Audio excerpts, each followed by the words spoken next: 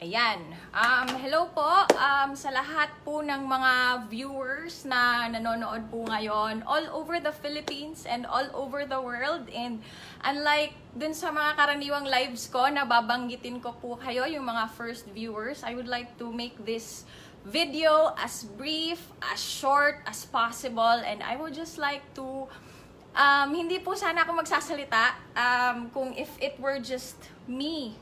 Um, hindi ko na kailangan i-defend yung sarili ko kasi alam ko naman po yung totoo and we, when you are at peace with the truth, then nothing can harm you. But this goes out sa lahat ng mga tao na pinaglalaban ko, sa lahat ng mga taong apektado, lalong-lalo na po yung mga OFW partners ko, yung mga business partners ko all over the Philippines, lalong-lalo na po yung mga taong pinaglalaban nyo po, yung mga pangarap nyo um, lahat ng mga AIM Global members na affected po kayo um, doon sa video na nag-trending ng kilala naman po natin ang online sensation po ngayon na walang iba kundi si um, Jocelyn Soletana. Ayan, pangalanan ko na po, pareho po kaming Bisaya.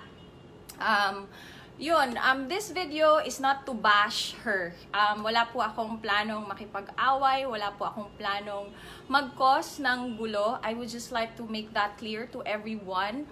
Um, this video, um, gusto ko lang pong i-clear out and gusto ko lang pong malinawan din po kayo sa lahat ng mga nalilito, sa lahat po ng mga Um, ngayon, um, gusto ko din pong madinig nyo yung side ng isang AIM Global member, um, isang ordinaryong tao na binago lang din ni AIM Global ang buhay. Pero bago po ako magsimula, um, para po kay Ma'am Jocelyn Solitana, um, I don't know kung ano po yung pinagdadaanan mo sa buhay mo. I don't know how hard your life is para po maging sobrang ganyan ka ganyan kakagalit sa mundo para po um, yung mga taong kagaya po namin na hindi naman po tayo closely related hindi po ako hindi pa po kita nakakausap pero ganun po yung galit mo sa akin. I feel sorry for you. Kung ano man po yung pinagdadaanan mo sa buhay mo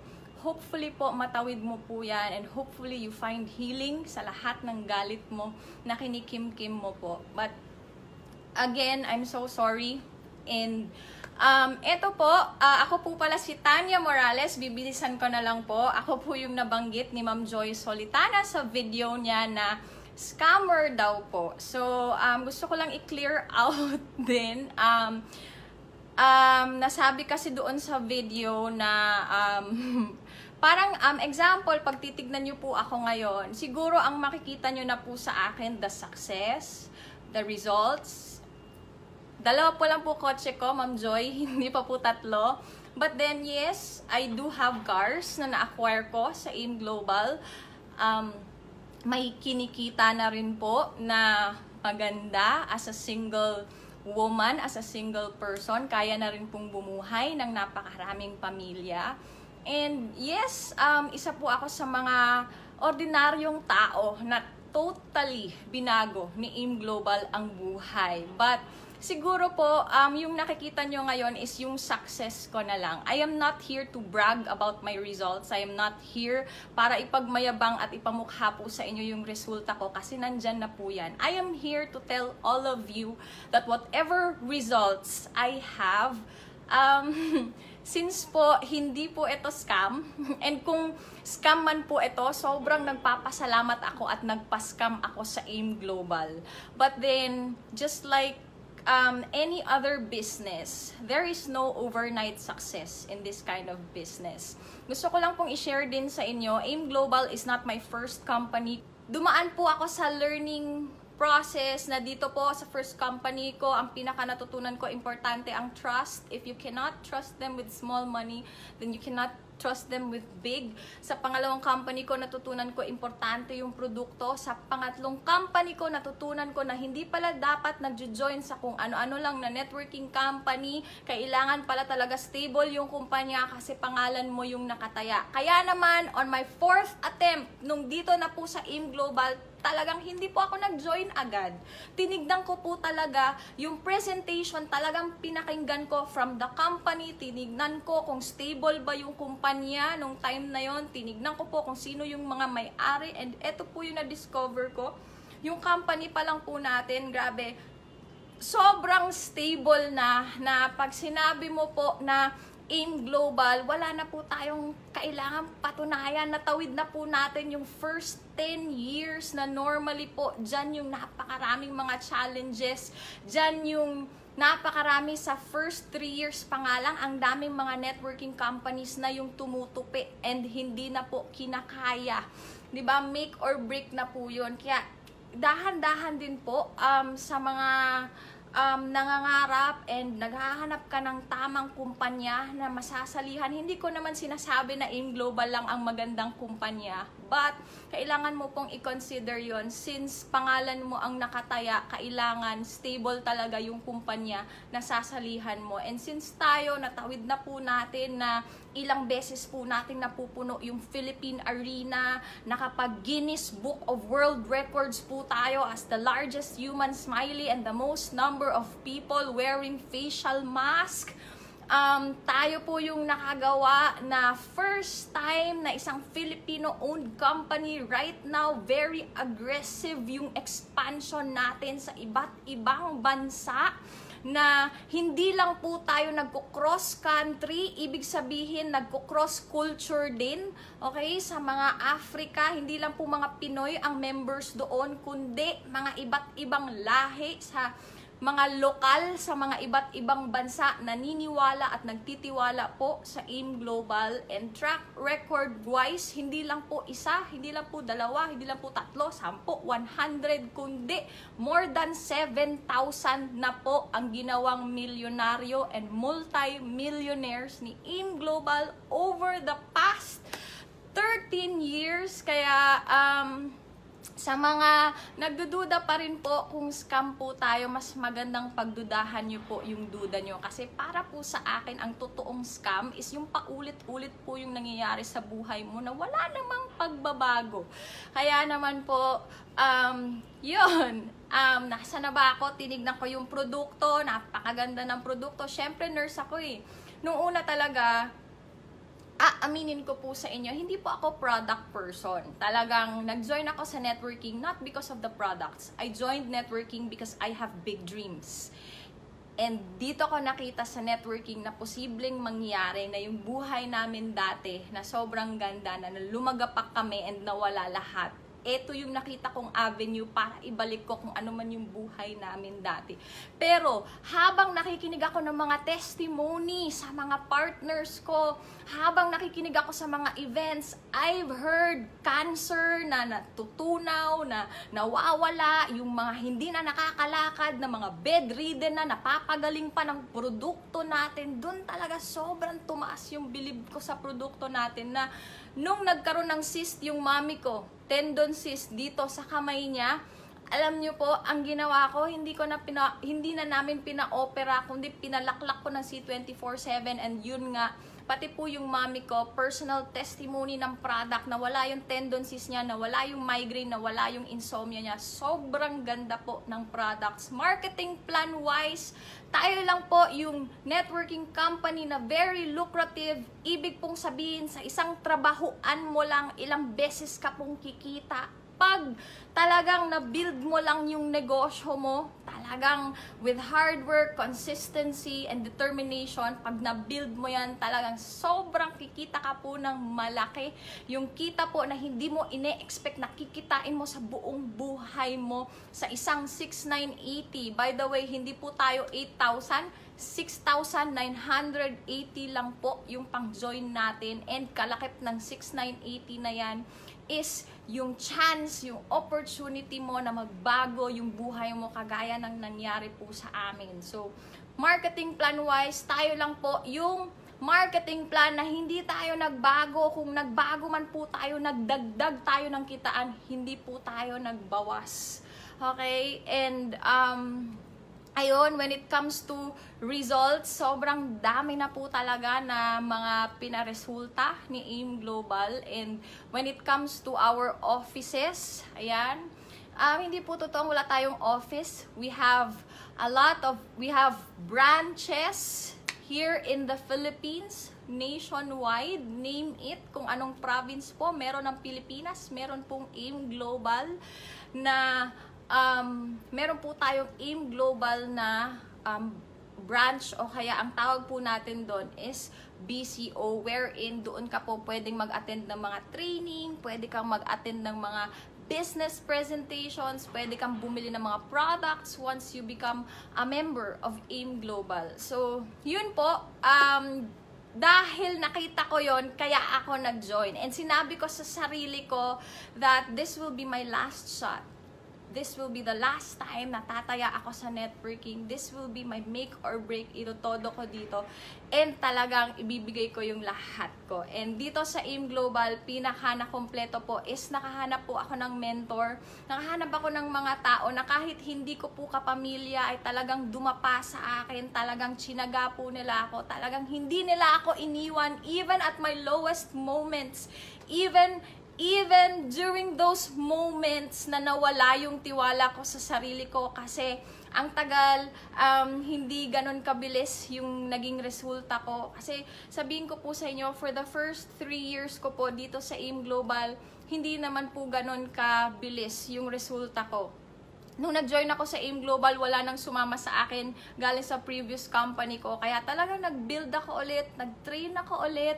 Um, dito ko nakita na um, kahit pala may experience na ako sa mga dating companies ko, ang dami ko pa palang kailangan matutunan. And yun po kasi yun, um, a lot of people, when they invest in this kind of business, they expect to get rich after 3 months, 6 months, 1 year. No, hindi po ganun. Kasi hindi naman po tayo scam. Okay? Your journey, ang pagyaman mo po dito sa AIM Global, para po yung halaman, para kang buto. Pag itinanim ka dito sa soil ng AIM Global, don't expect na mag-grow ka pag hindi mo didiligan, pag hindi mo lilinisan yung surroundings, pag hindi mo aalagaan, ganun din po siya dito. Kaya ko po nasabi na whatever results na nakikita nyo po sa akin ngayon, it's not an overnight success. I have had my share of tears. I have had my share of hard work. I have had my share of sleepless nights. I have had my share of kung ano pa, rejections, disappointments, lahat po yan. Ang daming mga taong hindi naniwala sa akin nung una. Even yung mga taong ine-expect ko, my family and friends, hindi din sila naniwala kasi ang tingin nila nahihibang na ako, kaya ang tingin nila nagpaloko ako or nagpaskam ako. Pero sa loob-loob ko, buhay ko kasi to. Ako kasi yung may pangarap. Ako yung may pamilyang may ako yung may pamilyang pinaglalaban. And I think I'm already old enough para mag-decide para sa sarili ko. Kaya kahit na sino man yung nagsabi sa akin, even yung mommy ko na pangit yung networking, hinding hindi ako naniwala kasi buhay ko to. End of the day, pag ako yumaman, ako din naman yung makikinabang and hindi lang ako kundi yung buong pamilya ko. Kaya talagang tinuloy-tuloy ko po and hanggang sa na-meet ko po yung online marketing. During my first three years in this business, um, yes, naging part po ako ng Millionaires Club din. Um, nakabili po ako ng first car ko And more than that, marami din pong mga kagaya ko na mga kabataan and ang na-educate and talagang na-open din po yung mga minds nila na hindi naman talaga kailangan mag-abroad kasi meron isang AIM Global na kahit nandito ka lang sa Pilipinas, kayang-kaya mong kumita ng malaking pera. It's only a matter of time, consistency, and hard work. And dito kasi may mga training, may proseso, kailangan din po ng time. And nung nakita ko po yung online marketing, um, dun po talaga sobrang napabilis ang lahat. Bakit sobrang napabilis? Kasi kung may Facebook account ka po ngayon and normally kung hindi ka pa po member ng AIM Global, ginagamit mo yung Facebook account mo sa pagla-like, pag-share and kung ano-ano man po na hindi ka naman kumikita pag ginawa mo po yung negosyo through AIM Global, pag ginawa mo po through Facebook, kikita ka po. And bakit po namin tina-target yung mga OFWs? Ang sabi niya po, ang sabi po ni Ma'am Joy doon sa video niya, hindi naman po mga negosyante. Hindi naman po kailangan negosyante para maging AIM Global member. Kasi ako po, hindi naman po ako negosyante um, isang ordinaryong tao lang na nangarap lang, nangarap lang ng malaki and talaga nakita ko lang na sa AIM Global pwedeng magbago talaga and pwedeng maisakatuparan ko yung mga pangarap ko. And kaya naman um, sa lahat po ng mga OFW partners po namin na hinahataw mo po yung AIM Global, never ever let other people talk you out of your dreams. Malaki ka na meron ka ng isip of your own. And most of all, meron kang sariling pamilyang pinaglalaban. Wag na wag mong hahayaan na meron lang isang tao, isang video na magnanakaw sa'yo ng pangarap na yon. Kasi tandaan mo, when that video dies down, sobrang nag-viral man po yan ngayon, but when that video dies down, when the issue dies down, what remains is ikaw, nandiyan ka sa abroad, namimiss mo yung family mo, gusto mo silang makasama, may pamilya ka, uh, may pangarap ka, ang next po doon is timbangin mo po sa sarili mo kung sino po talaga yung papaniwalaan mo. Kasi um, always remember, pag pumili ka ng papaniwalaan mo, search mo din yung background. Mag-background check ka rin and tignan mo yung dulo. Pag naniwala. Example, pag naniwala ako kay person A, tignan mo muna yung buhay ni person A. Kung gusto mo yung buhay niya, paniwalaan mo siya. Okay? Now, compared kay person B. Example na lang po. Um, hindi po sa hindi po sa hindi po ito sa paninira, pero um, napaka bilis po kasi. Um, there are a lot of people na mag-trending lang ang isang video. Marami lang yung views ng isang video. Credible na siya agad. O kaya akala na natin marami lang likes, marami lang views, totoo at tama na yung pinagsasasabi. But end of the day, results matter kung gusto mo po yung resulta ng video na pinakita sa'yo, o kaya kung gusto mo yung resulta ng tao na na nagsasalita dun sa video, then maniwala ka po sa kanya. Um, kami, as AIM Global member, hindi hindi po kami mapapagod na gumawa ng mga videos, hindi hindi po kami mapapagod na tumulong sa mga OFWs na kagaya po ninyo. Kasi alam po namin yung pinagdadaanan nyo. Hindi man po ako naging OFW, pero alam na alam ko po yung feeling ng mga anak nyo na nandito po sila, namimiss po nila kayo. And yun po yung pinaka-mission namin dito sa AIM Global. May mga magsasabi na scam, hayaan mo sila. Diba? Um, right now, yung kailangan po ng mundo natin is inspiration right now, yung kailangan po ng mundo natin is magtulungan tayo. Hindi po natin kailangang magsiraan. Okay? Kasi wala naman pong point pag magsisiraan po tayo. Hindi po magbabago yung buhay natin. Hindi po magbabago yung buhay ng pamilya natin. Kung magsisiraan tayo. And I am not here para siraan din po si Ma'am Joy. Pero sa lahat po ng mga followers niya, sa lahat po ng mga sumusubaybay po sa kanya, tignan mo din po yung dulo. Saan ka po ba dadalhin ng pagfo-follow mo sa kanya? Saan ka po ba dadalhin ng paniniwala mo sa lahat ng mga sinasabi niya? Kung tingin mo, magbabago yung buhay mo, makakauwi ka for good, makakasama mo yung family mo, then go ahead, believe her pero kung hindi ka naman dadalhin dun sa kagustuhan mong makasama mo yung family mo, nandito po kami oh, buhay na buhay. Ang dami na po naming mga pinublish na mga magagandang video. Isang video lang po ba yung sisira? Doon, hindi naman po, hindi naman po siguro justifiable yun. ba? Na um, sa dami, minsan ganun po kasi, um, kailangan nating baguhin yon sa mentality natin. Kasi, kaya po hindi nagbabago buhay natin minsan kasi may ganun tayong mentality sa dinami-dami ng magagandang nagawa ng isang tao, isang kumpanya, kagaya lang ni AIM Global. Sa dinami-dami ng mga nagawang kwentong success story, libo-libo yung mga milyonaryo.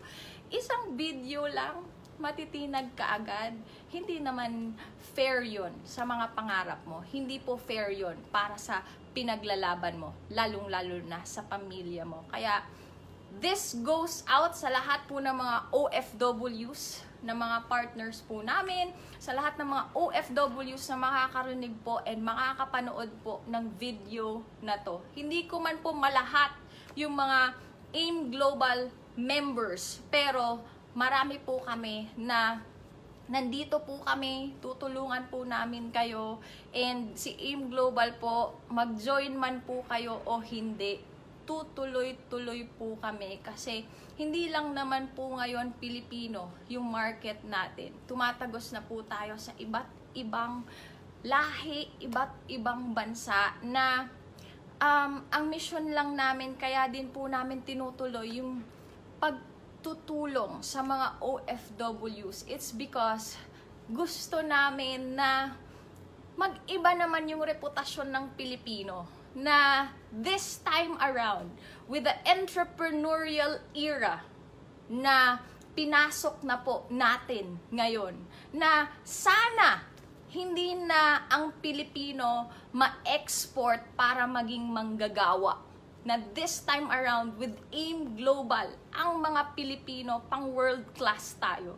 This time around, kahit may pinag-aralan ka man o wala, pag Pilipino ka and nasa AIM Global ka, kayang-kaya mong baguhin yung buhay mo. Kayang-kaya mong maging negosyante kahit wala kang experience and kayang-kaya mong i-conquer yung mga iba't ibang lahi kahit hindi ka marunong mag-English and only AIM Global can do that to you. Now, disregard this video kung meron ka ng alam na opportunity na kayang baguhin ang buhay mo at ng buong pamilya mo. Pero kung wala, nandito po kami, ang dami po namin, AIM Global, we may not be related by blood, pero ituturing ka po naming pamilya hanggang sa ikaw po isang OFW, magkaroon ka ng ipon, makauwi ka for good. And yes, it will not be easy. Don't expect na pag nag-join ka sa AIM Global, magiging boss ka na agad. No! Pag nag-join ka sa AIM Global, mababawasan yung tulog mo, mahihirapan ka, marireject ka.